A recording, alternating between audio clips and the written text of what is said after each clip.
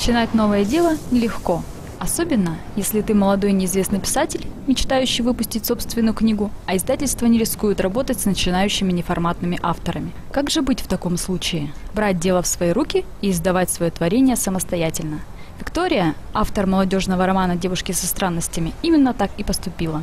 У меня уже был опыт общения с издательствами. Я написала эту книгу пять лет назад. 20 издательств определили ее как неформат, потому что это молодежный роман, довольно скользкая тема, довольно резкий, о лесбийской любви. И лишь одно московское издательство рискнуло меня взять. Э, но грянул кризис 2008 года, осенний, и э, мы разорвали контракт. И чтобы книга все-таки увидела свет, я выпустила ее за свой счет.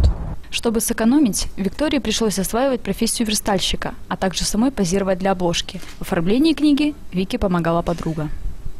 Я снимала фото для обложки. Процесс проходил достаточно в веселой атмосфере, и у меня была сложная задача. Мне необходимо было одновременно и снимать, и позировать.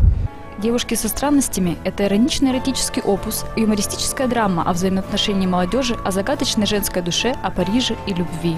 Мне захотелось написать о Франции, о парижской молодежи. Место действия Франция, Париж, э, Сен-Манде, Германия. Я училась в Париже, э, по образованию я переводчик французского, поэтому э, я знала, о чем пишу.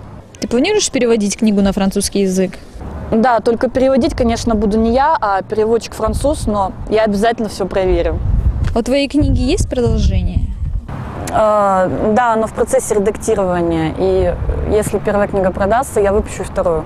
А где ее вообще можно приобрести? Я точно знаю, что в Владивостоке она есть в книжном магазине на Универсаме и на Луговой. И вот книга издана и стоит на полке в магазине в ожидании своего читателя. Виктория надеется, что ее пример вдохновит молодых авторов. Ведь нет ничего невозможного. Выпускать книги за свой счет – это неплохой вариант для тех, кто не вписывается в формат или не хочет ни от кого зависеть. И к тому же, если вам удастся реализовать весь тираж, вы получите большую прибыль, чем предполагаемый гонорар в издательстве. Разумеется, я печаталась э, прежде всего не ради денег. Законченные книги – это как повзрослевшие дети. Их нужно отпускать, чтобы они жили своей жизнью.